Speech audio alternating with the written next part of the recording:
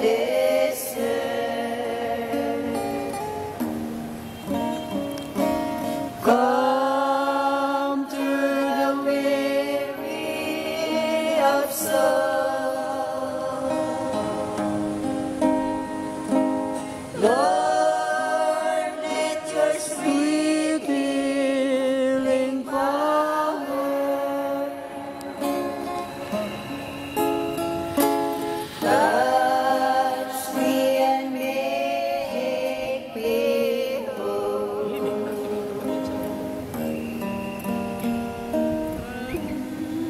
Amang banal, Diyos na dakila, Amang Yahweh, magandang gabi sa iyo, Ama.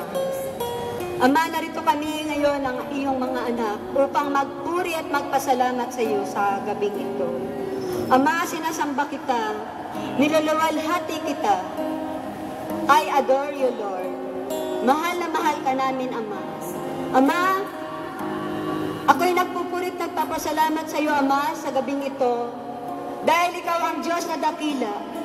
Ikaw ang may likha ng langit at lupa. Ikaw ang nagpapagaling ng mga anumang uring karamdaman. Ikaw ang Diyos na nagbibigay sa amin ng aming mga pangangailangan. Ikaw ang Diyos na punong-puno ng pag-ibig. Ikaw ang Diyos na punong-puno ng pagpatawad sa aming lahat. Kami makasalanan, Ama, ngunit patuloy mo pa rin kaming tinawag at iniram. Sa gabing ito, Ama, ang lahat ng papuri ay ibinabalik ko sa iyo sa pangalan ng iyong anak na si Jesus. Ama, ang pangako mo sa amin, saan man may dalawa tatlong nagkakatipon, alam ko, Ama, na narito ka ngayon. Kasama ka namin, Ama, na nagpupuri sa gabing ito. Kaya, pinupuri kita at pinapasalamatan, Ama. Subalit, Ama, sa kabila ng lahat ng aking pagpupuri, narito pa rin ako, Ama.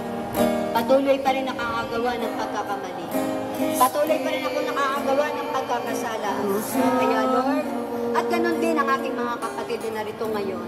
Kung ano man ang aming mga pagkukulang sa iyo, Ama, patawarin mo kami upang kami maging karapat dapat sa gabing ito, lalo-lalo na sa gawain mong ito.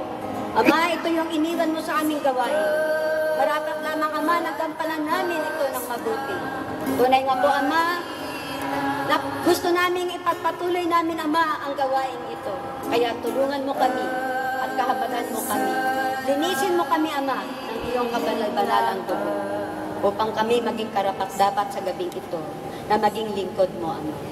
Banal na Espiritu Santo sa mga oras na ito, inaanyayahan kita sa bawat isa sa amin. Nawak, Ama, ang iyong banal na Espiritu ng pag-ibig at pagkakaisa ay ipadala mo sa amin, Ama. Lalong-lalo na, Ama, ang magpapahayag ng iyong mabuting balita. Gamitin mo siya, Ama. Bigyan mo siya ng kaalaman at karunungan. At ganun din kaming nakikinig sa gabing ito. Buksan mo ang aming tenga, ang aming mata. Sa aming pakikinig, Ama, ng iyong mga salita, naway maisabuhay na nga namin at maisagawa. Kaya, Ama, sa gabing ito, ang lahat ng kapurihan at kaluwalhatian ay ibinabalik namin sa iyo, Ama, sa pangalan ng iyong anak na si Jesus. Ama, inaantin ko na ang lahat ng aking kailingan sa gabing ito. Gumawa ka man ng himala sa bawat isa sa amin. Ano man ang mga kailingan ng aking mga kapatid, ngayon pa lang, Ama, ay ipagkaloob mo na sa bawat isa sa amin. Maraming maraming salamat. Luwalhati sa Ama at sa Anak sa Diyos Espiritu Santo, para sa unang una ngayon at pakailanman para sa walang luwalhati sa Ama at sa Anak sa Diyos Espiritu Santo, para sa ngayon at pakailanman Sabay-sabay natin luwalhati ng ating Diyos na buhay. Luwalhati sa Ama at sa Anak, sa Espiritu Santo. Papara sa unang-una ngayon, magpakailanman, magpasawalang hanggan. Siya nawa. Sa ngalan ng Ama at ng Anak ng Diyos Espiritu Santo. Amen. Palakpakan po natin